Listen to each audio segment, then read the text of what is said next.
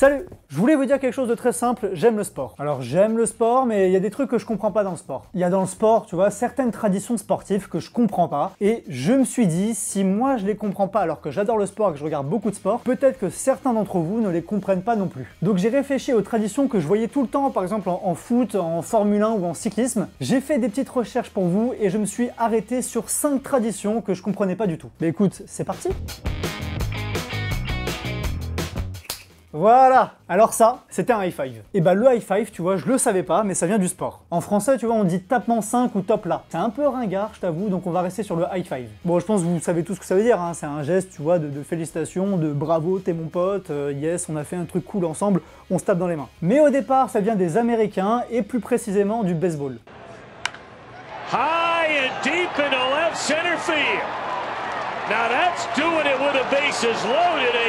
Et le premier high five mondialisé que tout le monde connaît aujourd'hui vient d'un joueur de baseball américain, Glenn Burke. En octobre 1977 au Dodger Stadium de Los Angeles, Glenn Burke donne à son coéquipier Dusty Baker un high five pour le féliciter après une super action. C'est devenu ensuite une habitude entre les deux joueurs, ils ont commencé à le faire sur tous les terrains américains de baseball, et puis après bah, il s'est passé ce qui s'est passé, tout le monde a commencé à les copier, et c'est devenu mondial. Bah le high five, il est tout con, mais moi je savais pas qu'il venait du sport. Après le baseball, on va parler Formule 1. Bon, j'espère que vous avez tous une F1 chez vous ou à la limite une Twingo, ça fait l'affaire. Et si vous connaissez un peu la Formule 1 et vous avez vu peut-être quelques championnats du monde, vous savez ce qui se passe à l'arrivée. Bon, à l'arrivée, normal, pas de surprise, il y a un podium, premier, deuxième, troisième. Bon, la tradition, vous la connaissez peut-être. Le gagnant euh, reçoit une bouteille de champagne, il l'ouvre et arrose euh, le deuxième, le troisième et tout le public qui est venu devant lui. smiling up on that podium today. Well, I think Lewis, you know, he was P8 at the end of the first lap. So Mais moi, je me suis dit pourquoi ouvrir du champagne et pourquoi cette douche gratuite Eh bien, il faut remonter en 1950, l'année de la création du championnat du monde de Formule 1. À l'époque, le Grand Prix de France se passe à Reims. Un peu de géographie, région Grand Est, département de la Marne. Voilà, je vous le dis, c'est cadeau, ça peut vous servir au collège, au lycée, auprès de vos potes, auprès de vos familles, ça fait plaisir. Et Reims est une ville connue pour son champagne. Et sur le podium en 1950, les producteurs de champagne Paul Chandon Mouette et Frédéric Chandon de Braille, deux cousins amateurs de course automobile évidemment, décident alors d'offrir un Jéroboam au vainqueur Juan Manuel Fangio. La tradition va alors se garder et on décide à partir de 1950 d'offrir une bouteille de champagne au gagnant. Quant à la fameuse douche de champagne, moi je l'ai pas oublié, eh bien la douche elle arrive en 1967. Aux 24 heures du Mans, le pilote américain Dan Gurney secoue, il est gênant ce geste, secoue la bouteille il secoue. non, c'est vrai, je peux pas le faire ce geste. Il a sa bouteille, la secoue un peu trop fort et le bouchon explose. Après, bon, vous avez déjà passé un premier de l'an, j'imagine. Vous savez ce qui se passe, bouchon qui explose, douche pour tout le monde. Et tant qu'on est dans la bagnole, je voulais parler d'une autre tradition dans une célèbre course, les 500 miles d'Indianapolis. Alors à Indianapolis, c'est un peu différent pour le gagnant, c'est pas du champagne mais c'est du lait. La tradition remonte aux années 30 et vient de Louis Meyer, vainqueur de la course en 1928. Après une course compliquée et sous la chaleur de l'Indiana, Louis Meyer demande un verre de lait pour se désaltérer. Évidemment, je pense que la tradition a plu puisqu'on le fait encore aujourd'hui sur les podiums des 500 miles. Et l'industrie laitière se sont dit tiens, il y a un coup à jouer, il y a un petit dos. L'industrie laitière offre donc 10 000 dollars aux gagnants pour prendre une gorgée de lait. Ça fait cher la gorgée de lait, je sais.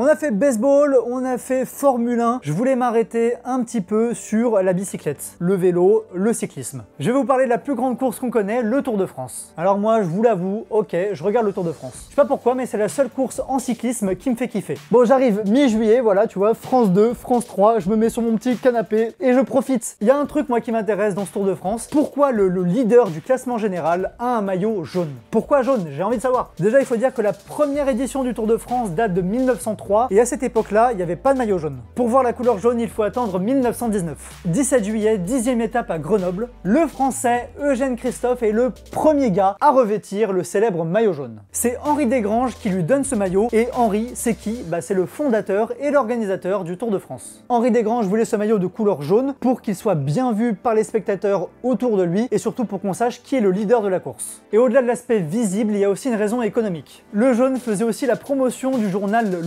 Qui appartenait à Henri Desgranges. Et le journal était imprimé sur un papier jaunâtre.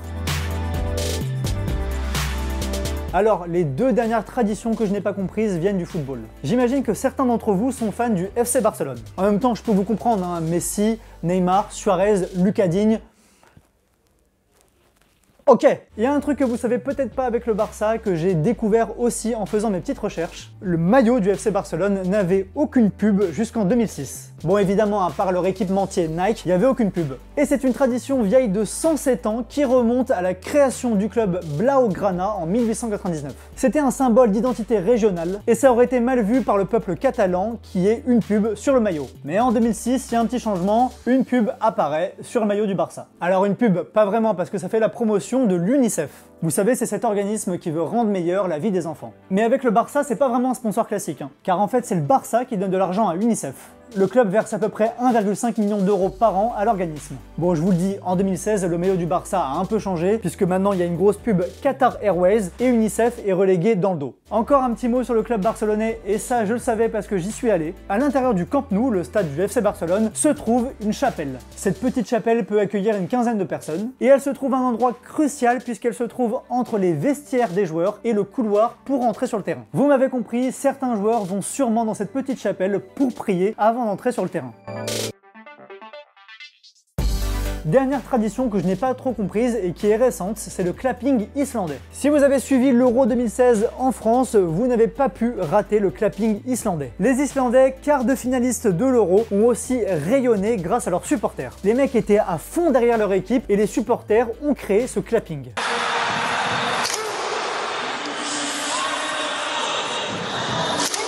Alors, désolé, amis islandais, mais vous n'avez rien inventé. Bon, déjà, tout clap en anglais veut dire applaudir ou taper dans ses mains. Ça se passe comment un clapping? Un membre des supporters tape une fois dans sa main et les autres supporters tapent aussi dans leurs mains en criant le club ou la nation qu'ils supportent. Mais ce que je dois dire à nos amis islandais, c'est que ça existe déjà depuis quelques années en Ligue 1. À Lens, à Lyon ou à Nice, les supporters font des clappings. Mais l'origine exacte du clapping serait grec ou turc. En Grèce, dans les années 2000, le PAOK et son groupe de supporters, la Gate Fort aurait lancé ce mouvement. Côté turc, le premier club qui aurait fait le clapping serait le Beşiktaş Istanbul. Bref, voilà, amis islandais, vous êtes magnifiques, votre clapping était génial, mais vous n'avez rien inventé. Et bah voilà, c'est la fin de cette vidéo. On en sait un peu plus sur ces traditions sportives que je ne comprenais pas, que je voyais tout le temps à la télé, certes, mais je ne savais pas d'où elles venaient. J'espère que vous avez aimé ces explications sur ces traditions sportives, et si vous en voulez d'autres, commentaires. Allez, ciao Hey, hey, hey, Amiro, je suis vrai, Amiro, tu es faux. Rap Anunnaki, à fond dans le UFO. Du swag et du bagou, je fais gagner, c'est pas cool.